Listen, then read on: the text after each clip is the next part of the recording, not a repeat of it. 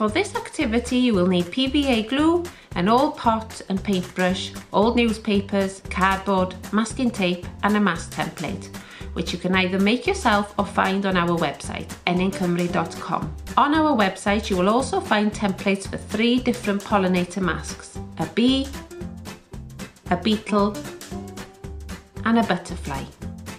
Print off and cut out the mask with your chosen pollinator template and then glue them onto the cardboard. When they are dry, carefully cut out the template and the eye holes. An adult might have to do any difficult cutting.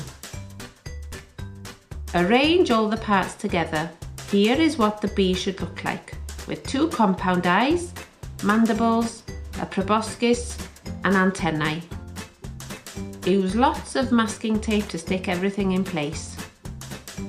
You can also use balls of masking tape to hold up the eyes and make them stand out.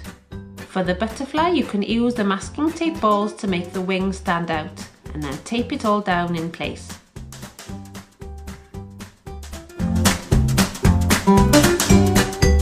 For your beetle, we have chosen a lesser stag beetle for our inspiration. You could cut out pieces of an egg box to make goggly eyes.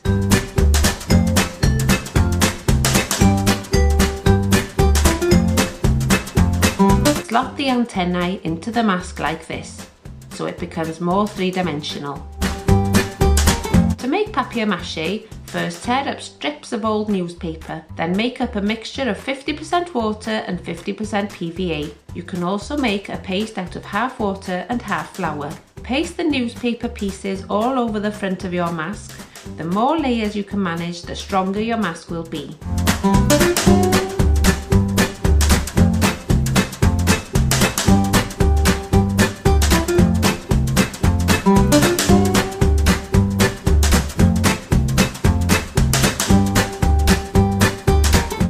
Can also make more three-dimensional areas by pasting balls of newspaper down and covering them with a layer of papier-mâché, like we have done here for the bee's eyes.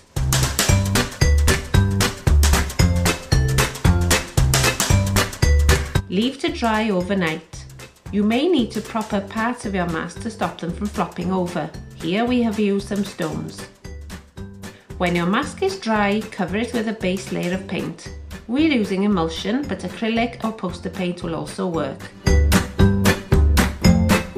Use pens over the top once the paint is dry.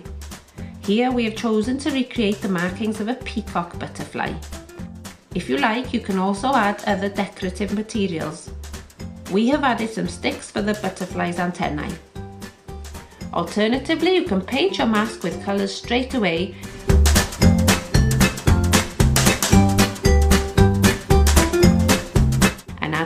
decorative things like tin foil once it's dry.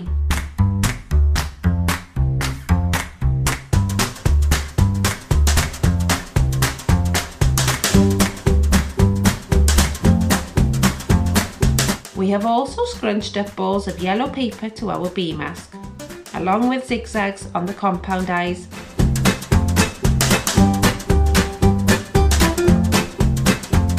And not forgetting the bee's third extra eye on its head.